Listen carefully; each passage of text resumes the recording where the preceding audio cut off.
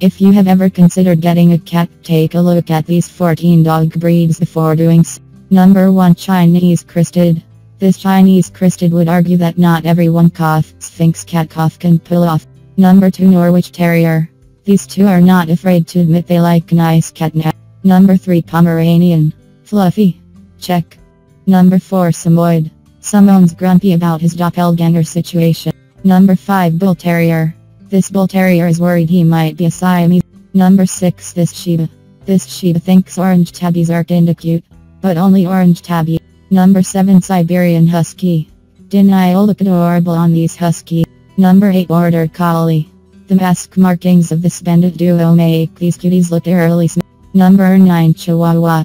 This Chihuahua won't ever admit he likes a nice cat. Number 10 Papillon. Honestly, at first glance did you even notice that cat wasn't a pap? Number 11 French Bulldog. This Frenchie is channeling his, his inner Persian. Number 12 Corgi.